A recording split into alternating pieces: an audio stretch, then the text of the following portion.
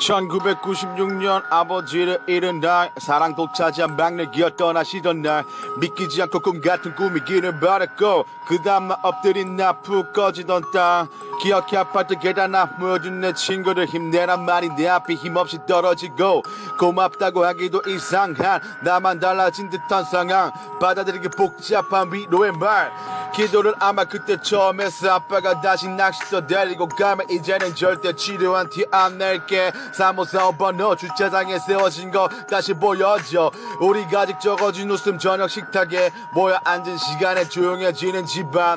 달그락거리는 설거지 소리 원래 그쯤엔 내가 아버지 구두를 닦아드렸지 전원을 주셨지 구두는 엉망인데도 현관 앞에 신발이 다섯에서 나켤래도 우리 민호 이제 집에 하나 있는 남자는 네가 엄마 지켜야지. 빨라 커라 강하게. 난 아들 아빠의 아들 그날이 아니었다면 내 삶은 지금하고 달랐을까? 성격도 지금 나 같을까? 난 아들 자랑스럽게 내 길을 걸어왔네 내 길을 걸어갔네. 내 길을 걸어갔네.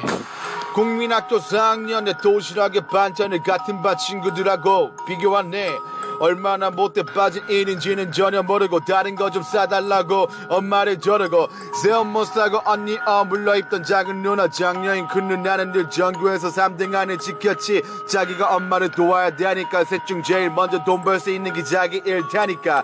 누나들의 사춘기는 남들보다 몇배 힘들었을 거야. 난 그걸 알긴 너무 어렵네. 편모는 손들라던 선생님의 말에. 실론 뜨고 부끄러워 손도 못 든 난데 편모인 우리 엄마는 손가락이 아파. 식당에 일하시느라 밀가루 반죽하느라. 아빠도 없는 주제라고 싸붙인 여자의 말에 아무 대답도 못하고 가만히 있던 난데. 난 아들. 엄마의 아들. 그날이 아니었다면 내 삶은 지금하고 달랐을까? 성격도 지금 나 같을까? 난 아들. 자랑스럽게